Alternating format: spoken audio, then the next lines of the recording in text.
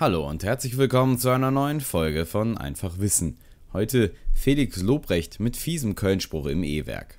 Er surft gerade auf der absoluten Erfolgswelle. Comedian Felix Lobrecht hat nicht nur den erfolgreichsten Podcast Deutschlands, sondern auch seine Tour Hype ist regelmäßig ausverkauft.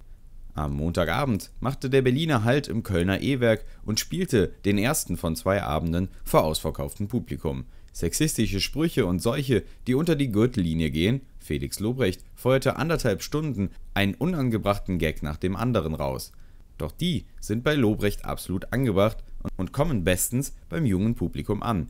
Denn wer kann dem Berlin-Prollo mit seinem Pseudo-Macho-Gehabe und dem charmanten Lächeln schon widerstehen? Trotz seiner steilen Karriere ist der 30-Jährige, der sich selbst noch nicht ganz als erwachsen sieht, so herrlich auf dem Boden geblieben und spielt immer wieder ironisch auf seinen Erfolg an. So begrüßte er das Kölner Publikum mit den Worten: Köln, schön, dass ihr gekommen seid. Ich bin immer noch ein bisschen krank, aber keine Angst, das Geld macht's erträglich. Dass ein Gast im Publikum sich über seine Rolex-Uhr beschwert hat, die ihn geblendet habe, scheint er schlichtweg als Luxusproblem.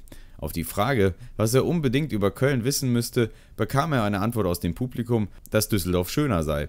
Doch auf den Rheinkonflikt wollte der Berliner erst gar nicht eingehen und meinte, hört mir auf mit diesem Köln-Düsseldorf-Ding, für mich seid ihr alle Neues und war sich nicht so ganz sicher, ob es Neues überhaupt gibt. Lobrecht wurde zwar in München geboren, wuchs aber mit seinen zwei jüngeren Geschwistern bei seinem alleinerziehenden Vater in Berlin-Neukölln auf. Seine Mutter starb, als er fünf Jahre alt war. Er flog wegen seines auffälligen Verhaltens vom Gymnasium und machte dann aber den Realschulabschluss und holte seine Fachhochschulreife nach. Später studierte er, das wissen die wenigsten, Politikwissenschaften in Marburg. Bekannt wurde Lobrecht dann 2015 durch Poetry Slams, bekam 2018 sogar den Comedy-Preis als bester Newcomer. Seit 2017 nimmt er wöchentlich mit Tommy Schmidt den Podcast Gemischtes Hack auf.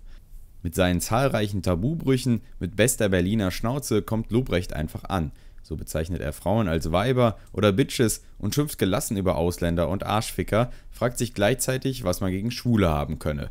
Weil die Zuschauer bei seinen hemmungslosen Witzen zunächst, vermutlich aus moralischen Gründen, nur verhalten lachten, beruhigte der 30-Jährige seine Zuschauer mit: Es macht euch nicht zu schlechten Menschen, ihr dürft ruhig über meine Witze lachen, es sind ja nur Witze.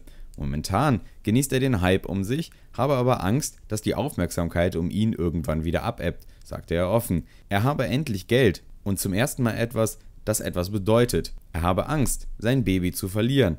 Das machte der 30-Jährige vor allem in den letzten Minuten seiner Show deutlich und wurde dabei unerwartet ernst. In unserer Zeit kann man an einem Tag noch Hallen füllen und alles läuft gut und am nächsten Tag stehst du vorm Rewe und bettelst Leute an, meinte Lobrecht mit seinem spitzbübigen Lächeln und verabschiedete sich mit einer ehrfürchtigen langen Verbeugung. So, das war's schon wieder mit einer neuen Folge von Einfach Wissen. Falls euch die Folge gefallen hat, schreibt es in die Kommentare. Ansonsten abonniert mich und guckt euch auch das nächste Video an. Ansonsten sage ich bis zum nächsten Video und ciao.